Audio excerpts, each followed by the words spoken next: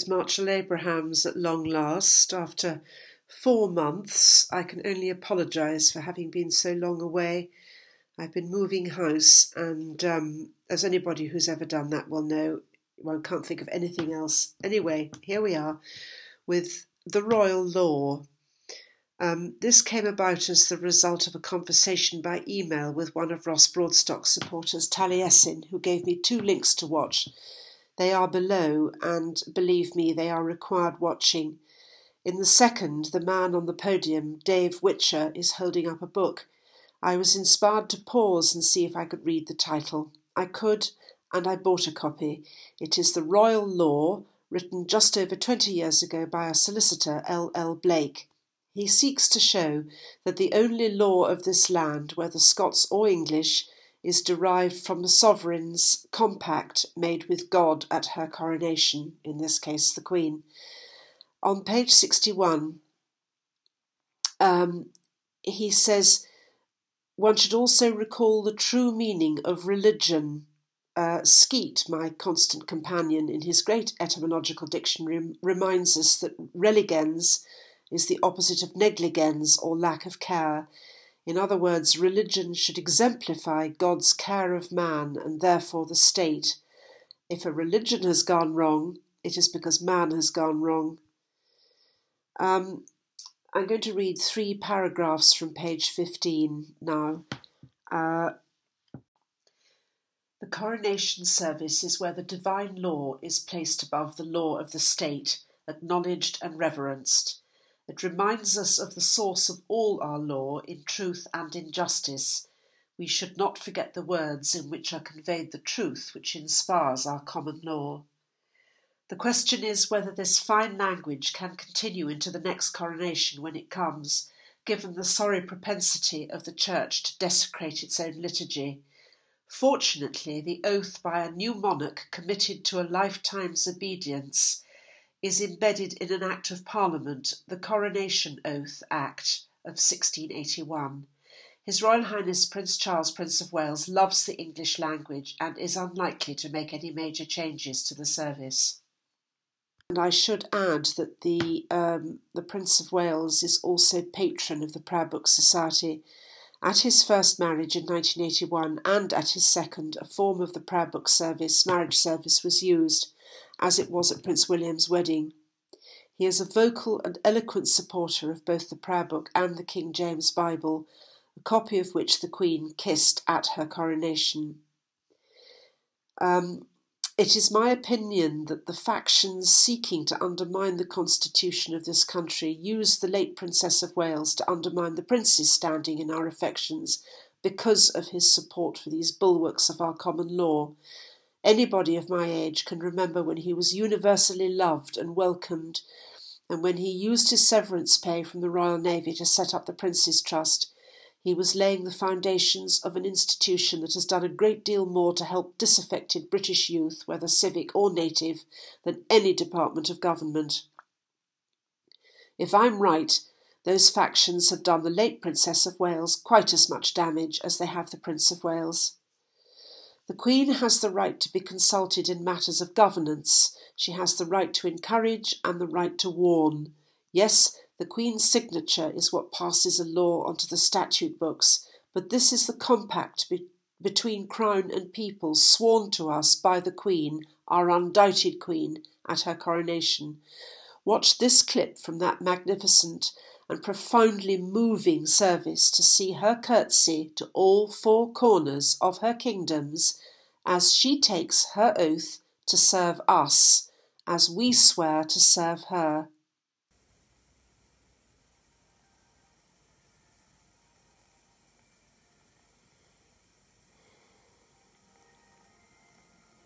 Now, the Archbishop moves to the theatre for the ceremony of recognition when he calls upon the people to acknowledge that they are in the presence of their rightful queen.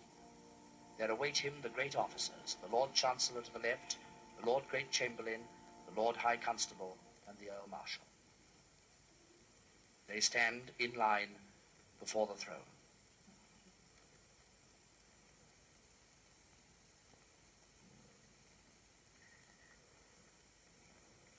Her Majesty moves across the theatre.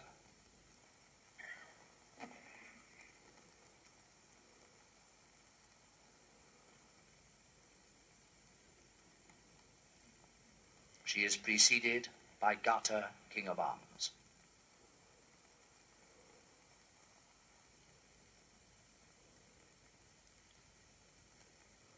First, the Archbishop will speak to the east, to all those gathered here on each side of the sanctuary.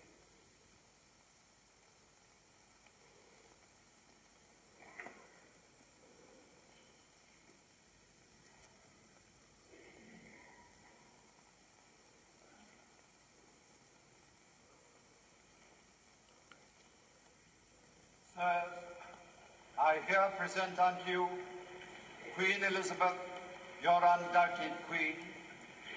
Wherefore, all you who are come this day to do your homage and service, are you willing to do the same?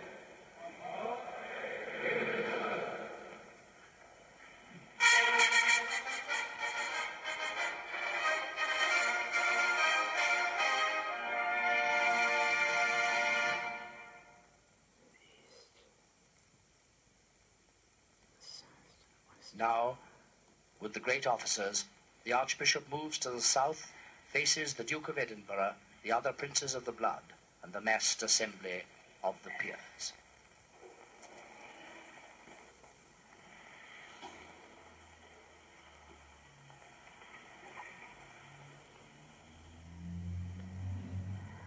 Sirs, I here present unto you Queen Elizabeth, your undoubted Queen. Wherefore, all you who are come this day to do your homage and service, are you willing to do the same?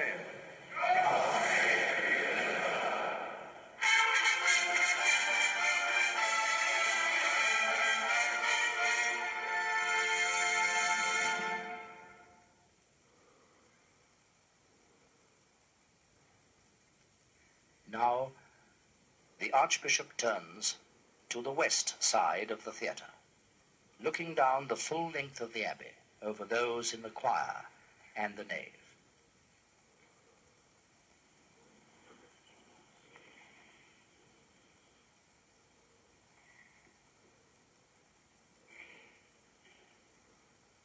Sirs, I here present unto you Queen Elizabeth, your undoubted Queen. Wherefore, all you who are come this day to do your homage and service, are you willing to do the same?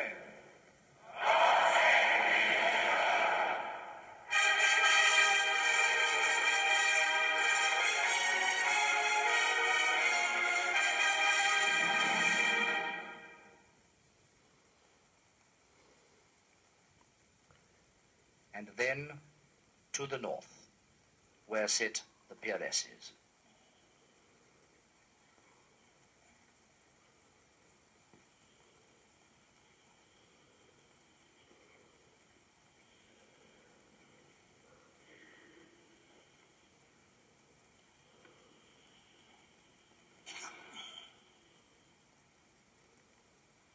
Sir, I here present unto you Queen Elizabeth, your undoubted Queen. Wherefore, all you who are come this day to do your homage and service, are you willing to do the same?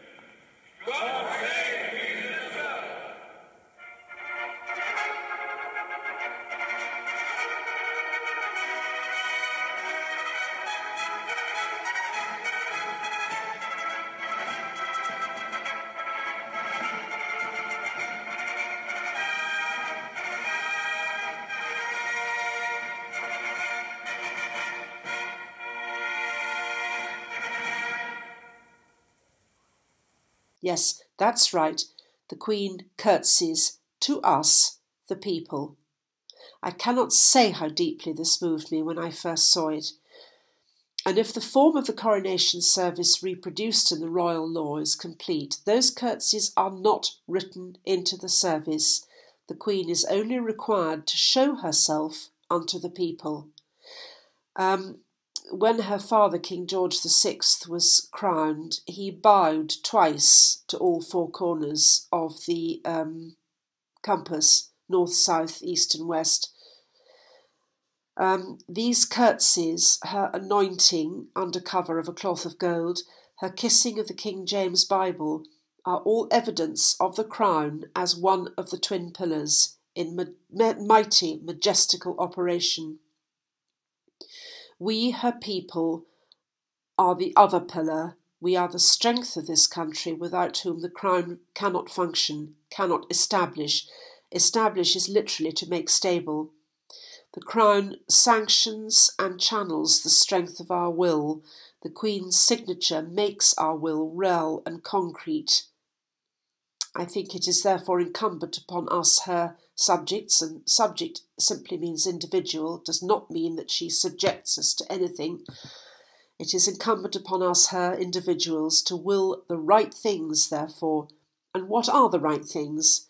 Those that do no harm, and those that enable us to live in freedom, treating our neighbours as we would wish them to treat us.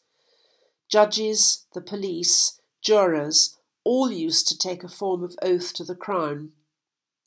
These oaths have been done away with, as has the medical profession's Hippocratic oath to do no harm, and I think I know why.